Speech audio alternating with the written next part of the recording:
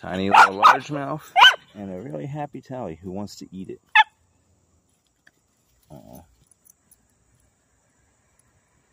Yeah. Thank you, buddy. Out of a tiny creek.